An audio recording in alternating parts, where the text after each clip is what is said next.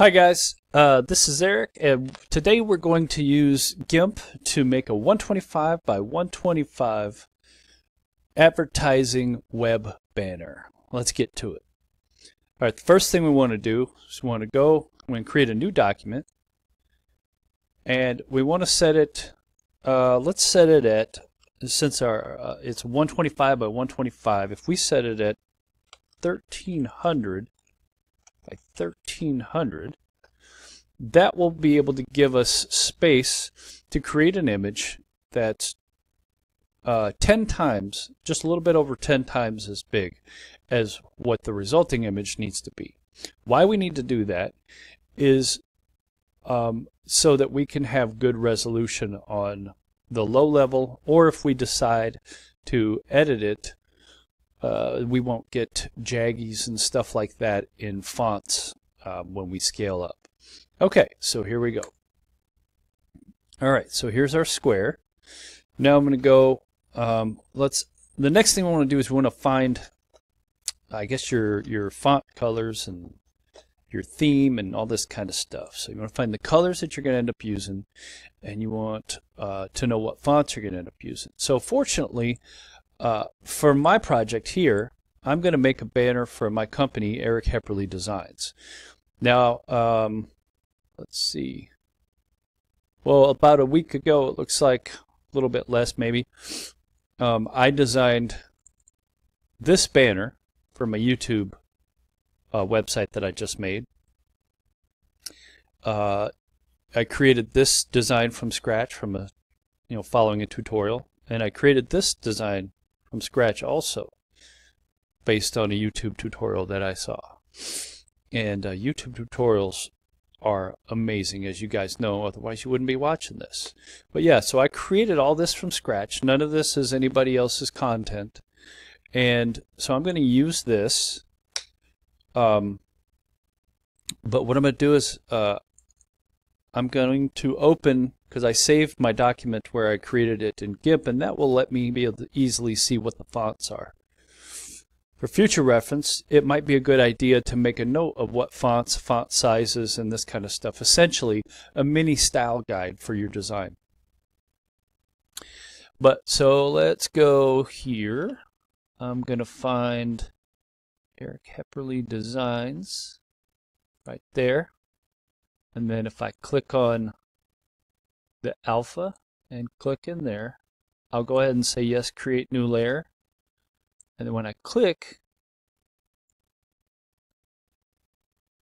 it should tell me what that is, but it isn't. That's weird.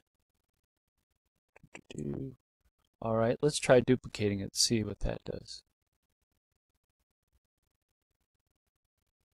Yeah, let's duplicate. There we go. Okay, so Eras Bold ITC, and the font size is uh, 103. So I'm actually just going to go over and use free uh, free program called Notepad++. I'm on Windows, and you know if you're on Mac, you've got TextEdit and different things like that. Uh, but just a basic text editor, and then I'll make a note.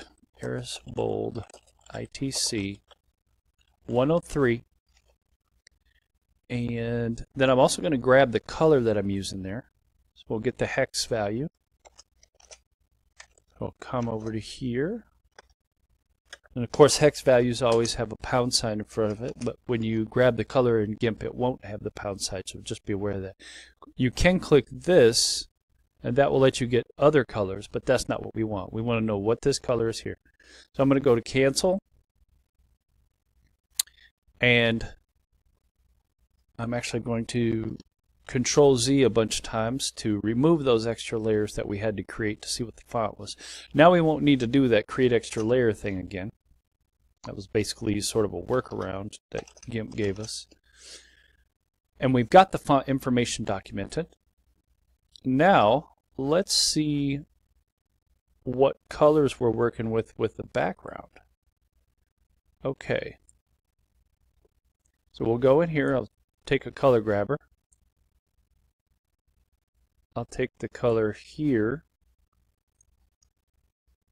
Okay. And then over here, I'm just going to make a note that this is a This is orange. Sort of maybe dark orange.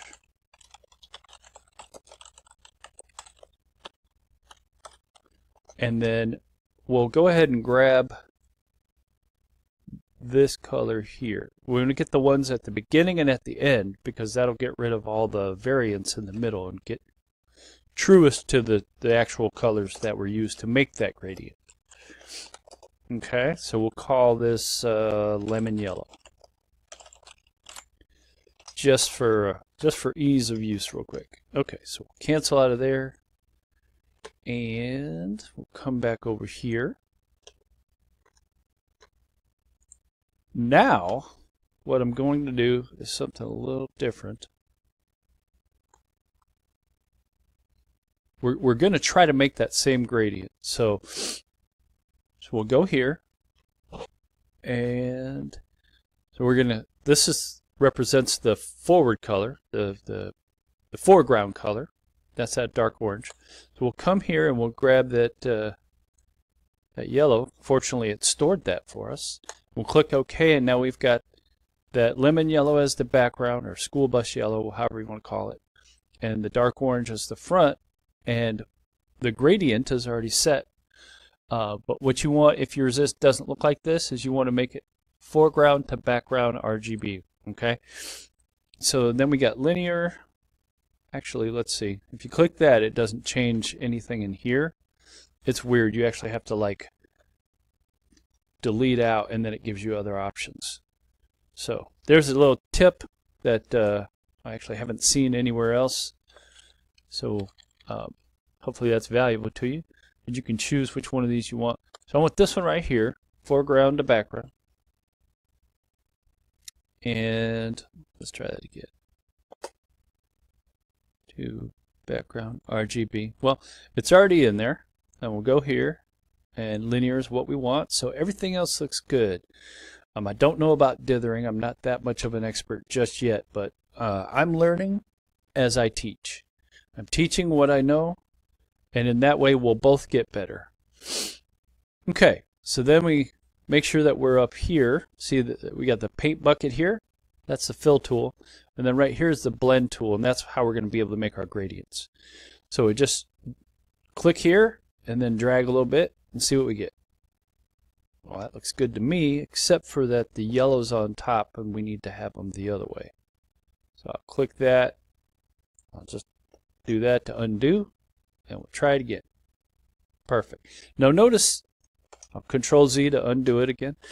Now notice if I uh, drag it at an angle, it's going to, you know, make an angular gradient. That's not what we want. So let's make sure we maybe click on Shift click it, click on shift, and then go down. No, that's not working. But I do like that gradient right there. That's pretty good. So we'll keep it. And what I'm going to do is I'm going to save it. And let's see, my naming, I usually do EH for my initials so I know that this was a document that I created.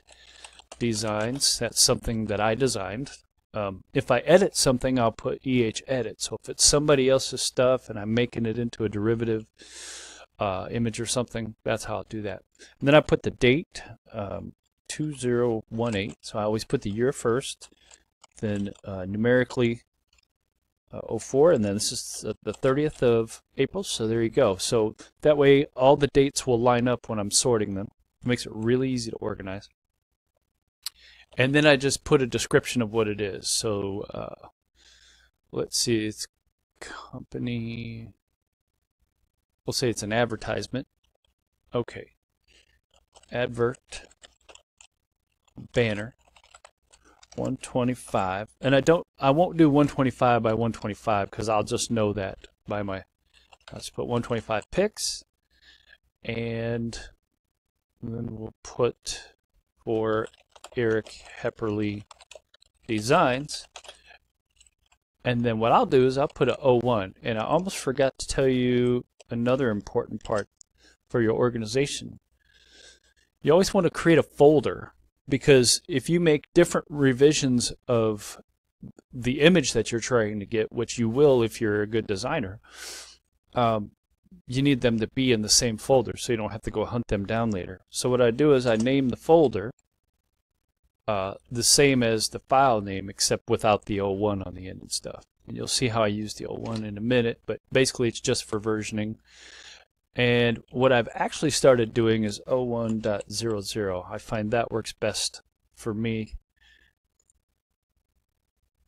and avoids a lot of renaming having you know that you might have to do otherwise and stuff. All right, so now we're going to come in. We're going to create some text. And as you know in GIMP, when you create text, it automatically puts the text on a different layer. So I'm going to go where it says Sans. Actually, let's do it this way. I'll go over here and I'll do uh, Eras ITC. Click on here and see if I can bring that up.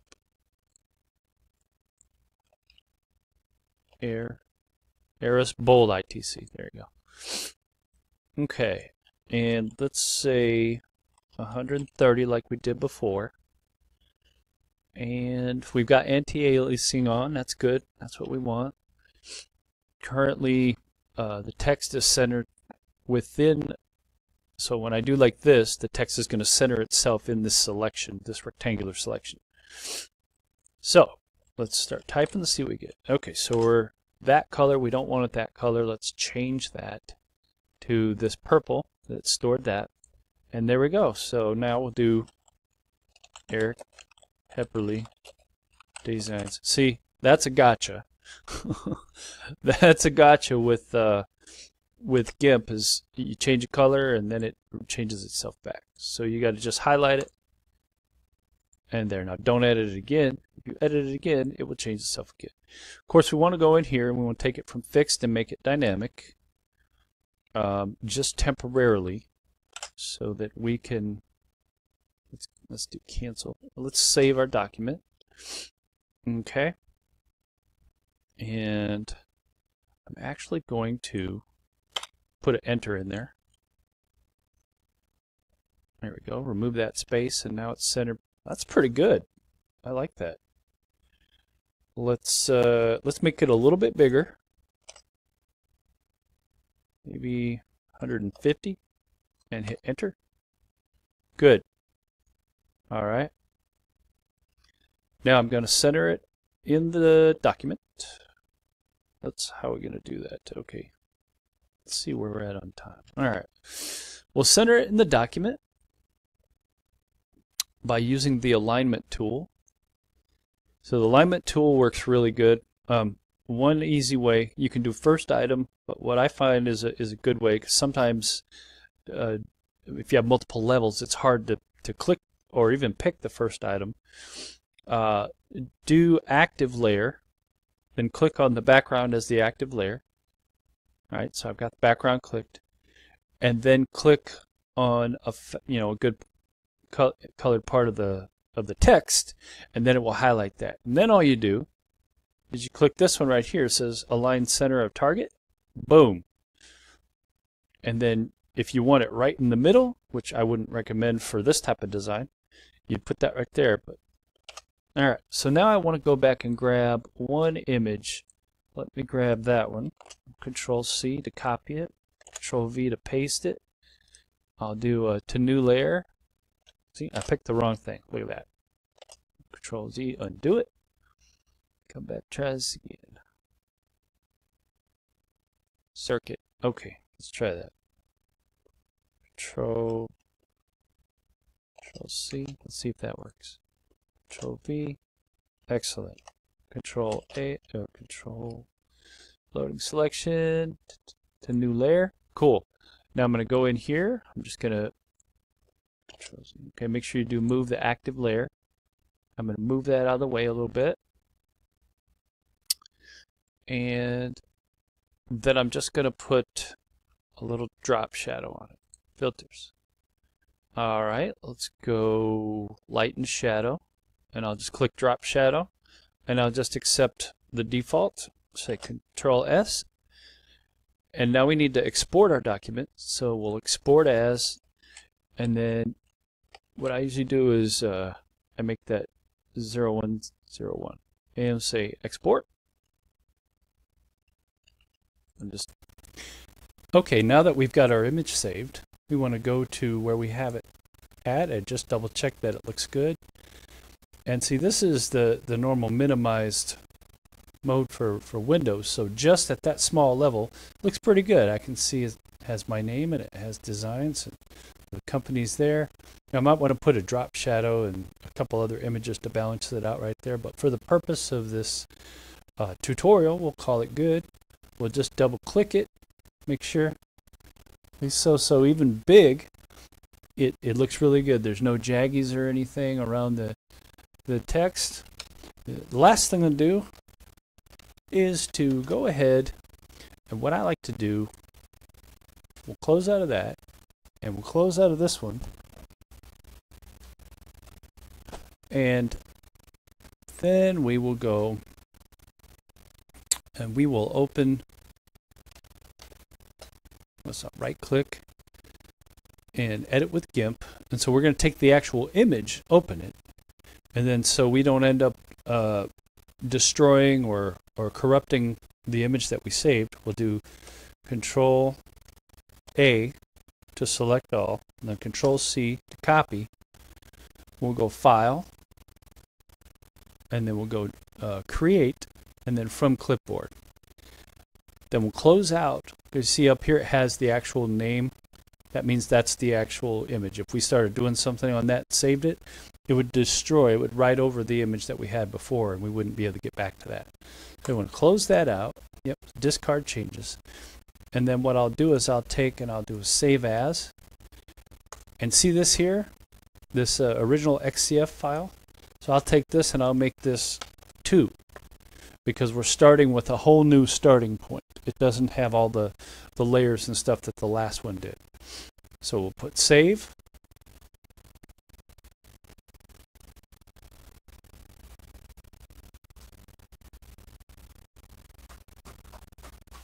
Save. My cat is going crazy over here, scratching stuff. Um, all right, and then the easy part here is we just go to uh, image, and we go auto. Well, auto, take the don't do the auto crop. That's bad. Uh, you want